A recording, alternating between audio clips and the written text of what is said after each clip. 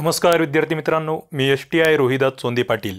मित्रांनो आज आपण इयत्ता अकरावीचे पर्यावरणाचे पुस्तक सुरू करतो आहोत. पर्यावरण शिक्षण. मित्रांनो यू पी एस सी पूर्वपरीक्षा असेल एम पी एस सी पूर्व आणि मुख्य परीक्षा तुम्हाला माहीत आहे पूर्वपरीक्षेला पर्यावरण आहे. मुख्य परीक्षेला सुद्धा जो भूगोल आणि पर्यावरण टॉपिक आहे त्या ठिकाणी सुद्धा अकरावीच्या पुस्तकातील भरपूर प्रश्न येत आहेत. त्याच्यानंतर वनसेवेचे एक्झाम्स असतील कृषी सेवेचे एक्झाम्स असतील पशुसंवर्धन विभागाचे एक्झाम आहेत आणि ग्रामसेवकच्या वगैरे एक एक्झाम्स या सगळ्या एक्झाम्सला आपण बघतो पर्यावरणासंदर्भात कृषी संदर्भात सातत्याने प्रश्न येत असतात. तर आपल्याला या ठिकाणी इयत्ता अकरावीच्या पर्यावरणाची सिरीज येथे सुरू करायची आहे.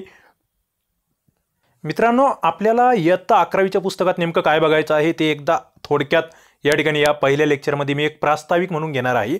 नेमकं तुम्हाला कळायला पाहिजे या सिरीजमध्ये काय आहे? याच्यासाठी जी एक वेगळी प्लेलिस्ट असेल तुम्हाला आत्ता ज्या परीक्षा सुचवल्या मी U P S C M P S C कृषी सेवा वनसेवा पशुसंवर्धन ग्रामसेवक या सगळ्या परीक्षांना धरून आपण ही सिरीज या ठिकाणी घेतो आहे. आणि क्रमिक पुस्तकं तुम्हाला माहीत आहे सातत्याने अत्यंत ऑथेंटिक असे प्रश्न यावर येत असतात. तर बघा यामध्ये जे प्रकरण असणार आहे आपलं पहिलंच प्रकरण जे आहे ते म्हणजे पर्यावरण आणि शाश्वत विकास हे असणार आहे. याच्यामध्ये पर्यावरणाचे आंतरशाखीय स्वरूप आहे. दुसरं पर्यावरणाचं पर्यावरणाची व्याप्ती आणि महत्त्व आहे. तिसरं राष्ट्रीय व आंतरराष्ट्रीय संस्था आहे. चौथं पर्यावरण संरक्षणामध्ये व्यक्तींचे योगदान आहे काही महत्त्वाच्या. आणि या ठिकाणचं पाचवं जर बघितलं शाश्वत विकास. मित्रांनो हा मुद्दा वेगवेगळ्या ठिकाणी तुम्ही चालू घडामोडी अंतर्गत असेल त्याच्यानंतर अर्थशास्त्राअंतर्गत आपण बघतोय या मुद्द्यांवर सातत्याने प्रश्न येत आहेत.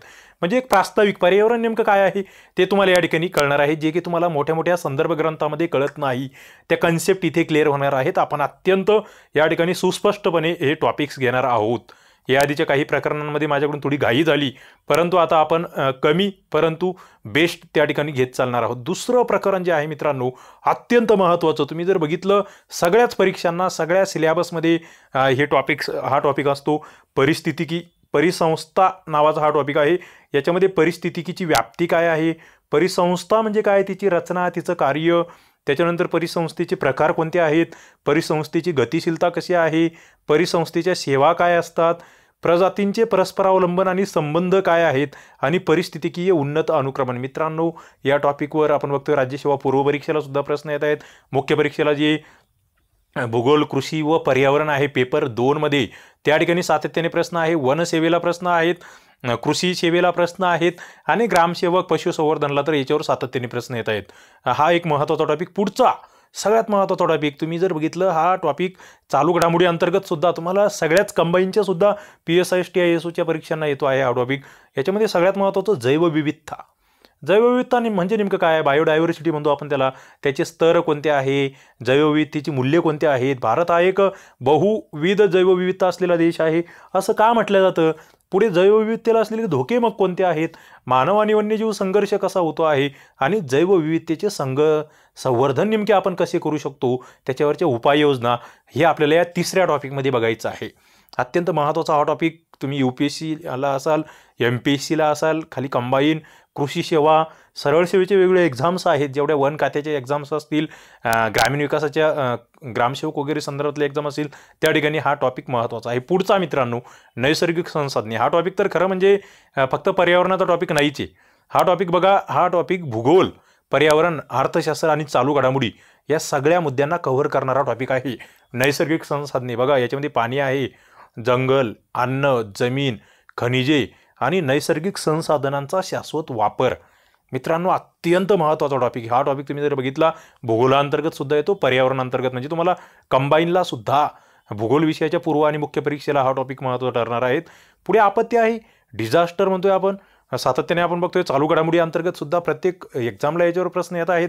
मग आपत्ती म्हणजे काय? आपत्तीचे प्रकार कोणते?